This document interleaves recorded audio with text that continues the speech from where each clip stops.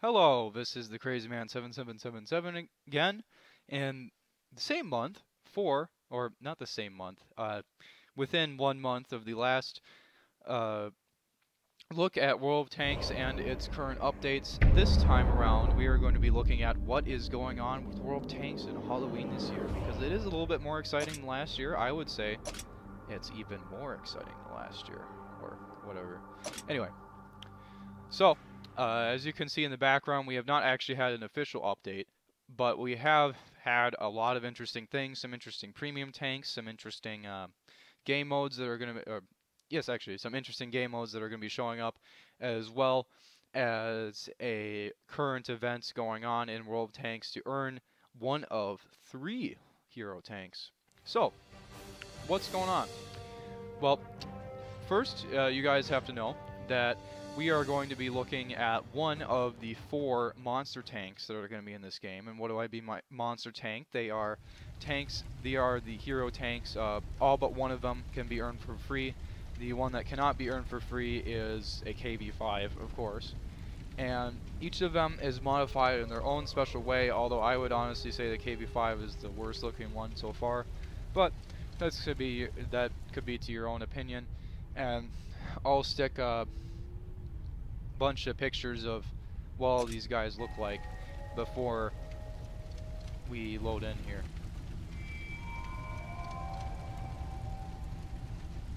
Anyway, so I have the Craft Panther, which you guys might have uh, already seen if you're paying attention, a picture of before I loaded. And this one, you could already notice, is really cool looking, and it actually makes the screen go darker.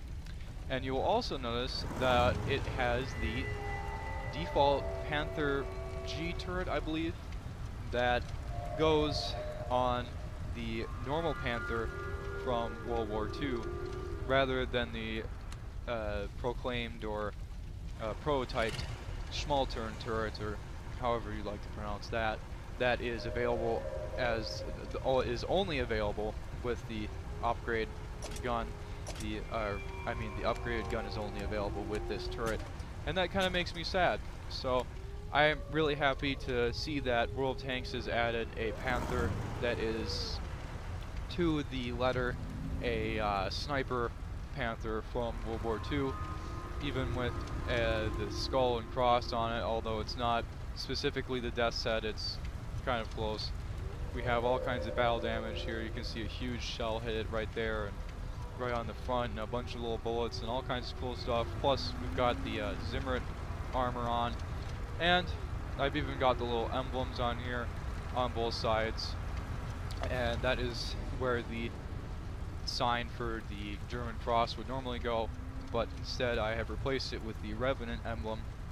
And we'll look at the emblems real quick. That's mostly what I can show you guys. I don't have all of the... Um, I don't have all of the monster tanks that I showed off in the pictures, uh, which is why I showed them off in the pictures. So, here's the Gornik, uh, the Kaiju, the Revenant, and the Lycan. And of course, the Revenant is also known as the Crafts Panther. Crafts Panther, uh, because as you can see, the little cartoon guy, called Craft, drives it from the World Tanks Rollout series. And that was a lot of information in about three minutes, or four minutes. So, slow down a little bit. We'll look at what the prices are in the store of these things.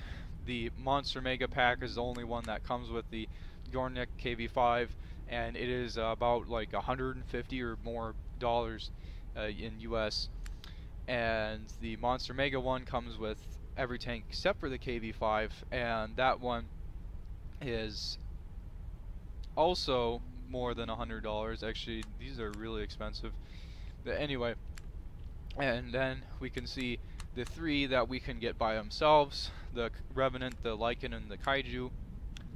And uh, I'll also show you guys the op for getting the free tank. It culminates in 190 points, which at minimum is 190 kills. Uh, as you can see from the rules down here, you know, 1 to 3 kills is 1 point, 4 to 5 is uh, 3 points, and five points is six or more kills. So pretty simple. If you miss it, just go back and look at that. I that's pretty much the rules right there. That's been going since the 10th, and at this point it might be a little bit late for anybody to start since 190 kills takes a while. But you can do it in less than 190 kills if you get. Uh, actually, no. Now that I think about it, no. Um, 190 kills is actually the minimum. So, uh, anyway, of course, if you kill people, a lot more people in one game, then you would have go faster. But anyway, uh, I digress. Other than this cool aesthetic back here, the uh, monster tanks do have another special event that coincides with the uh, Spectre tanks uh, that are returning.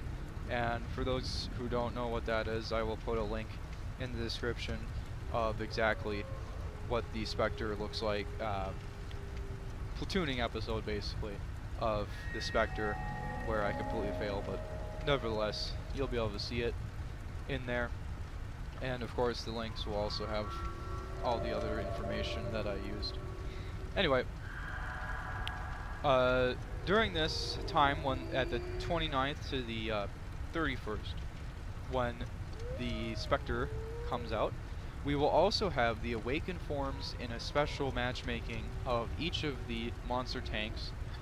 Uh, each of the monster tanks, uh, each of the four monster tanks will have their own special look and their own special flavor of uh, completely overpowered to semi-overpowered abilities in their own mode, so of course we won't be trolling everybody in the regular modes.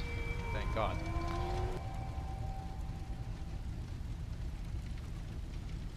Uh, anyway, uh, the Lycan T-71 will have huge improvements in speed, accuracy, and rate of fire, and it will be invulnerable to falling damage, but this is only during the time that its clip is loaded.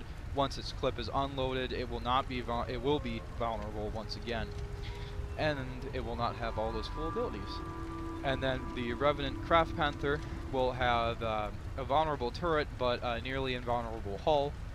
Um, signature, but you can already see kind of what's going on with that uh, right in the game.